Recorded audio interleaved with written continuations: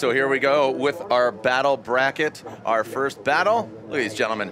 Coming to us from Jamaica and the UK, you have that of Fraser McConnell doing it for the odd, and Ollie Bennett, you know, rounding out that XITE team. So a lot of talent here. You could see as, again, who's going to move on. You see their first round result, fourth and 10th. They have to fight, and the winner will go against Robin Larsson in the quarter-final battle brackets.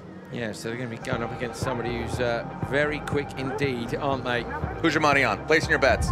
Coley. Oh, based on the form we've seen so far this season, my money's on Fraser McConnell. Mm. But we talked about Fraser McConnell doing double duty here this weekend. He's racing Supercar, and he's here in Group E. All right, the gentlemen are ready to go. And uh, again, two cars on the track at the same time. We're going to see who advances on.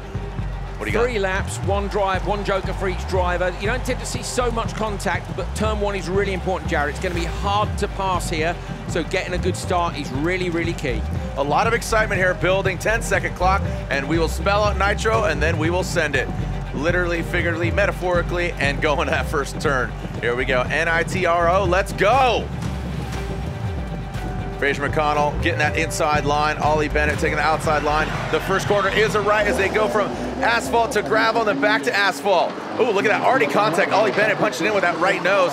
Here comes Fraser McConnell wrapping around, and you talked about how loose it is. This big A-Shock tabletop is a massive jump. It is a big jump. Yeah, you certainly, uh, you're taking off nice and high there. You don't feel the landing at all because the cars are so good. Ollie looks to the inside, lets Fraser know he's there. He's got to make Fraser drive at his mirrors. Fraser's won the start. We saw a tiny mistake here from Ollie Eriksson in the, uh, seeding race, Jared.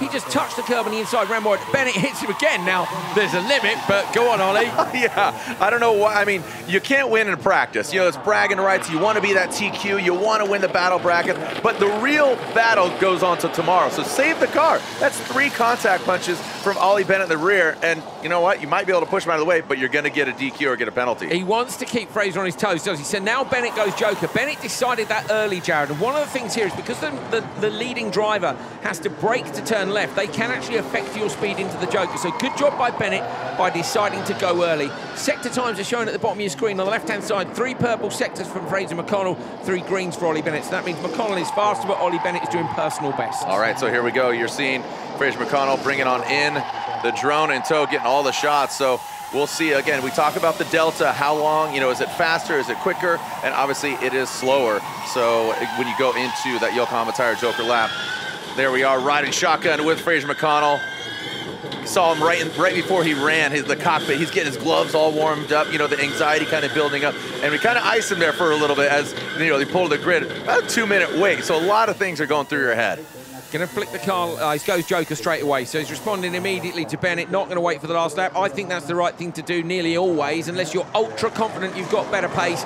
Going to come out in front of Ollie Bennett. And actually now, if you look, so the Bennett on the first lap, Jared, was right on the back of Fraser and followed him closely. When yeah. he went Joker and lost touch with Fraser, he's now not putting the lap time in. So Bennett actually might have followed Fraz for one more lap and just, just felt where Fraser yeah. was a little bit quicker. But 2.5 seconds now the lead for Fraser. I mean, really tidy. And you talk about Fraz uh, notably, that's what we call him, his nickname Fraz. So Fraz going in to that Joker lap, he just was really clinical about that. It, it wasn't like, oh, I got to go. It was it was tidy. You're 800 horsepower. You got to try and lay it down. We're all-wheel drives. You know, we've got some amazing tires on these cars, but but still, it's a lot of power, and that's Ooh. the point: is how much traction can you get in the exit? Watch Sprim here going, Jared. He'll go really sideways now to get the car straight on the exit, and he'll do the same again. Watch him flick left onto the start finish straight. He'll handbrake it. There it is. Get the car straight and go. All right, so it looks like it's going to be quick work here, and the checkered flag is waving, and Fraser McConnell makes it look, like I said, just look really easy against Ollie. Even with that contact, Ollie's, Ollie's knocking on the door, but Fraz said, nah, dude, I don't want any, I don't want what you got. I'm out. yeah, I'm out, not interested what, no. what, you're selling. You're selling P2 and I don't want it. Now, Fraser McConnell will advance on to the quarter battle brackets, and he will be going against Robin Larsson, who is definitely the guy to beat.